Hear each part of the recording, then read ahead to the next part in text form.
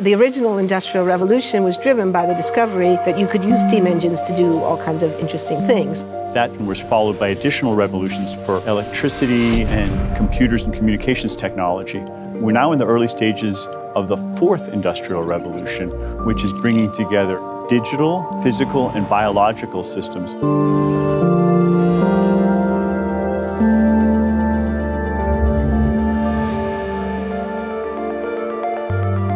One of the features of this fourth industrial revolution is that it doesn't change what we are doing, but it changes us.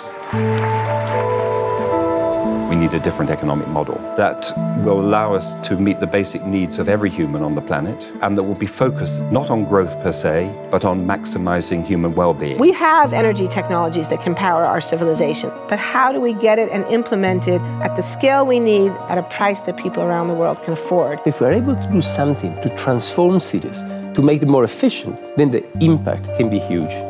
We can use asset tracking, we can use IT, we can use 3D printing to decouple growth from the resource constraints we have. The question of adding quality to quantity, it's really about a diverse, safe, healthy, and just world with clean air, clean water, clean energy. Together we are fighting to preserve our fragile climate from irreversible damage and devastation of unthinkable proportions. The prediction of 5 million jobs lost by 2020 to technology is serious, but the main question is how will we define work? How will we share the wealth?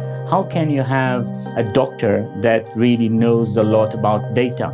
How can you have a biologist that knows about medicine?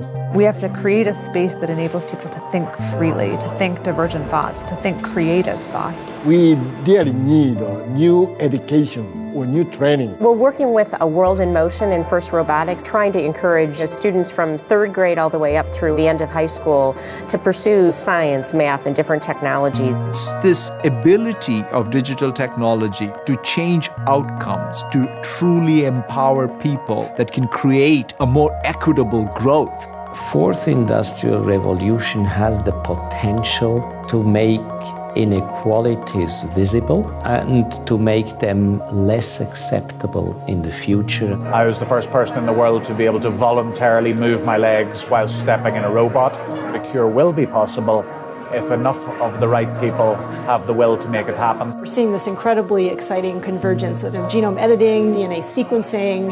Governments have a very important role to play in enabling the safe and effective use of technologies. We need to take responsibility at every level of society to adapt to these technological challenges which are redefining what it means to be completely embedded in this world.